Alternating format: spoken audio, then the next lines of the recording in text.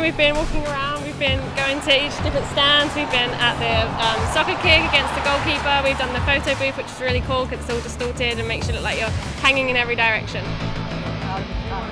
We went to the Adidas stand. It's a room upside down, so it looks like you're floating.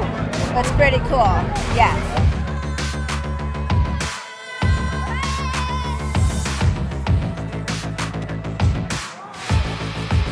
The best one I've seen is the ultimate goal. It's like a goalie and you kick a ball and blocks it or saves it and it's a lot of fun. The best way to score is to go in the top corners because you can't uh, reach that high. They can't reach that high.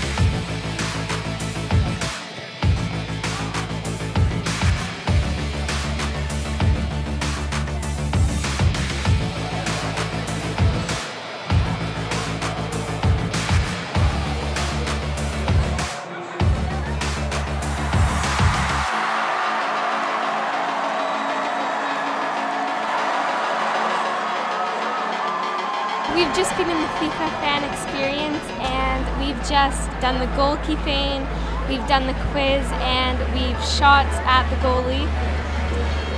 My favorite thing that I did there was uh, roll the ball in these green lights and you got points each time.